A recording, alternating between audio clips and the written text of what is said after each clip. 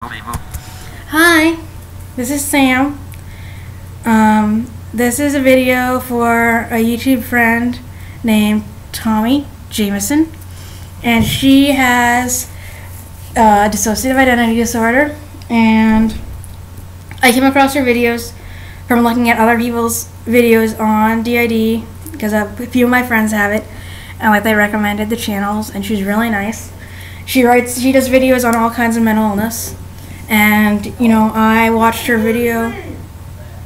Oh no. Um, I watched her video on. She has a really great video on having a breakdown, like a mental illness breakdown, and how you change after that, and like how you can recover, and how it's not a fast process, and how it like affects your whole life. And when I had my breakdown in 2013, I wrote her, and she was really encouraging. Um, and she's really sweet. So she wrote a book just recently. I think she published it like the beginning of the month, called Pieces of Me Still Awake. It's on Kindle, and it is her story. Um, and I started reading it um, on the Kindle app. It says like how far into the book you are, and I started reading it on the van ride to program. I think it was Monday, and I got thirty percent into it, and I stopped because I had to stop reading it. Um, I don't have DID, and I don't have um, I have PTSD, but from it's from emotional abuse, so it's really different.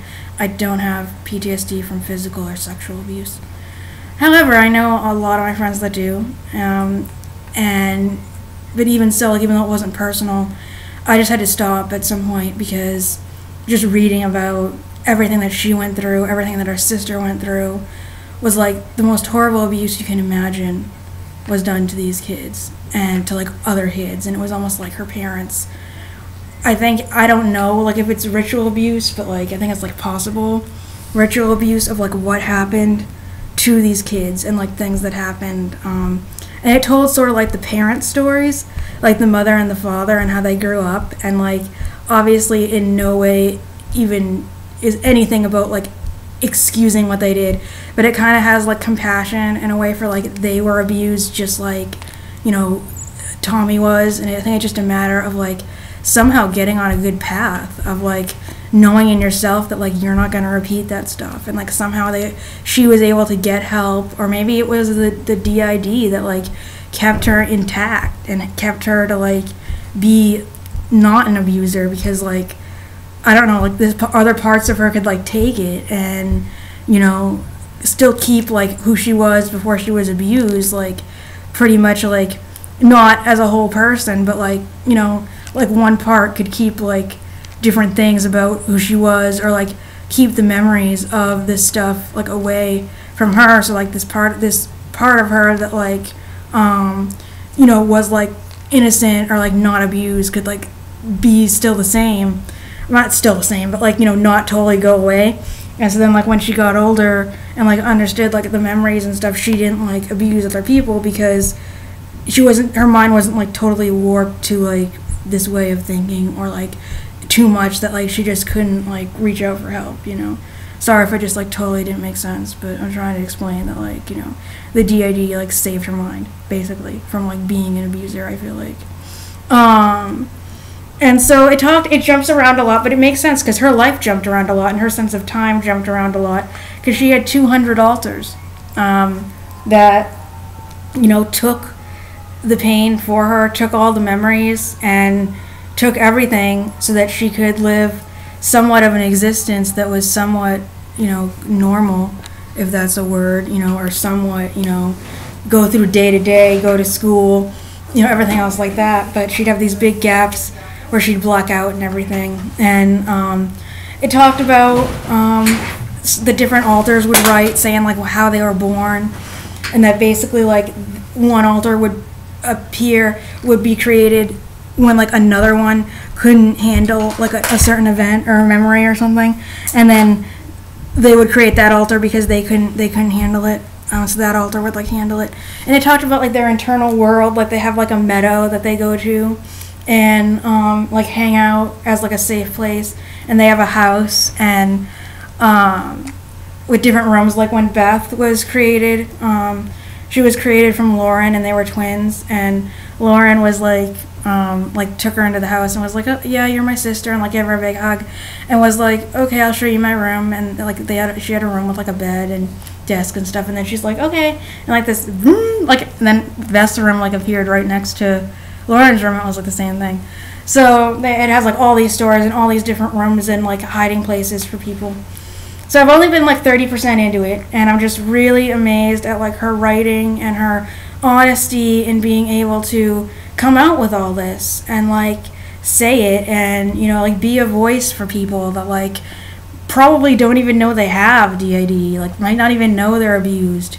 You know, they could read this book and be like, "Wow, like I was abused," or like, you know, this reminds me of like a friend or something that you know, has these blackouts and I don't know why, and now maybe I will like understand them more and not be like, are you nuts?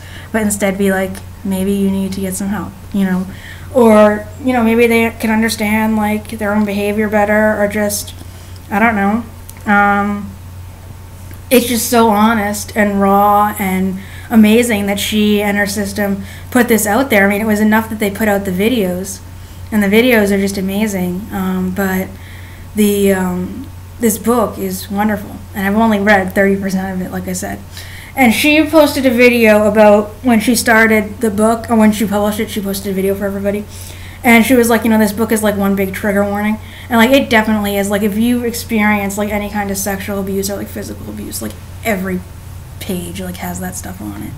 So to like really be careful reading it. Um, and, you know, like I said, even I had to stop reading it for a while. But um, you know, knowing her, you know, it's not like an author where you just read this book and it was written like 30 years ago, or you know, or just somebody that you don't even know, you know, you can't even contact on Facebook or anything, so you don't know how they're doing. Like knowing now, like that she's doing pretty good, okay, you know, and she has a wife and like they're married, and she you know, um, has learned so much about her system and can pass that knowledge on to other people. And she continues to go to therapy, and she continues to honor herself and like what she needs to grow and keep changing. Is like a, such a great role model for all of us that have mental illness. And like, definitely, she has not had like easy, and she it's totally honest about that.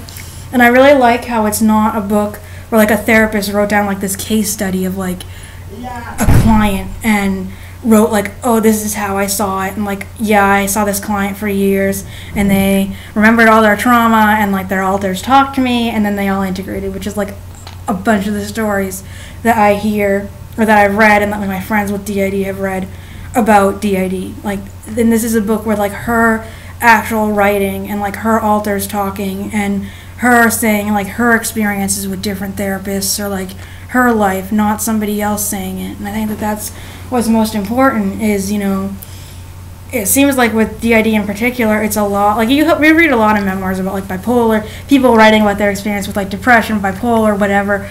But with DID, it seems like everyone is just like the therapist writing it, and that's why I think so many therapists think like, oh, I have a DID client, like we're gonna do integration, or like that's all they hear about or read about, instead of just hearing about you know doing things at the client's pace, doing things in the way that the client feels good about and the whole system feels good about because it's like their life, it's not this other person's life. So, like I said, that's my thoughts on Pieces of Me Still Awake. I will tag, I'll write the book title and then I'll write um, her name and I'll make sure that she gets it. Um, and yeah, it should be really good. So I will let you know how I feel about the rest of the book um, when I'm done reading it. Thank you. Bye, Tomi. Bye, everybody. Bye. Ribbon help web stop button.